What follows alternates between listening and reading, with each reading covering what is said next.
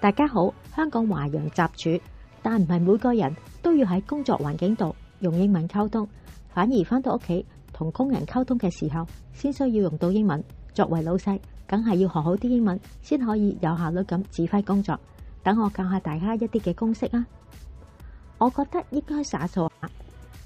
I feel we ought to have a house cleaning。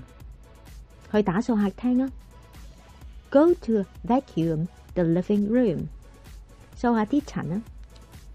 Could you dust the living room's furniture？唔该扫地。Please sweep the floor。淋下花。Water the flowers。洗衫。Do the laundry。倒垃圾。Take out the garbage。你没有冇带只狗去行下 ？Did you walk the dog？喂咗狗未啊？Have you fed the dog？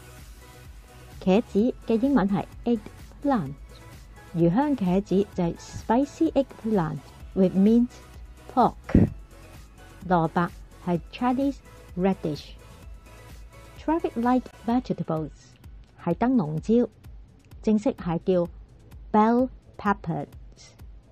如果话而家有好多靓嘅菠菜卖， 我哋话 spinach is in season at the moment。兩斤薯仔，六兩牛肉，two catties of potato and six taels of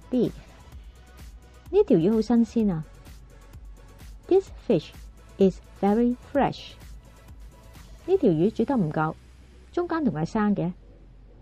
This fish is undercooked. This is still raw in the middle. 條魚變壞咗啦。This fish has gone bad, gone off。碟餸煮得太鹹啦。This dish is too salty。啲飯煮得太稀。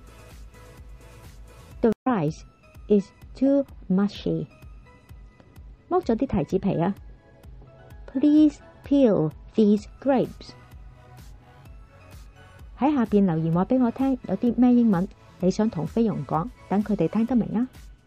下集再见，拜拜。